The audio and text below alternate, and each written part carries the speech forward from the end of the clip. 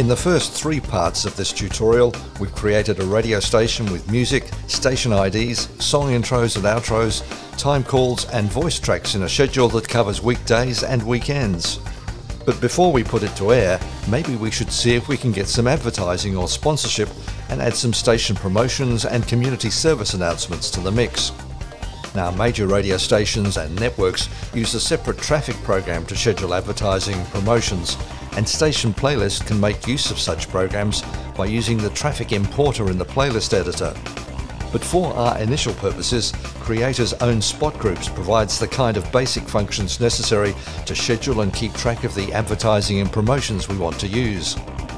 You recall that we used spot groups in part 1 to put our station IDs into the rotations, and we can use the same basic principle to create an advertising schedule. The first thing is to get your advertisers or sponsors on board and produce some spots for them. At the same time, you can create some promotional spots for the station. Once they're complete, we'll put them in folders ready for Creator to make use of them in spot groups. We have two advertisers ready to go, and we've created two spots for each of them and put them each in their own spot group. The spot group type is commercial, and we want to include them in the spot summary. We'll create another spot group for the promos we've made and another for community service announcements. Again, you can further control when any of these spots can air by going to track properties and adding a range of hours, days or dates. For example, this event takes place on the 21st of November, so we give it a finish date of the 20th and it won't play after that. We'll now create a new spot group and call it Spot 1 for Easy FM, we're going to put one of these in each hour between 6am and 6pm, a total of 12 spots, and we're going to add our two advertisers, promos, and community service announcements into this spot group, meaning that a spot from each will run three times a day.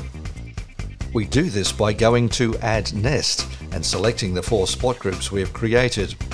Again, select Commercial, sort randomly, and include in Spot Summary to enable us to keep a separate record to the music categories when producing the daily log of events.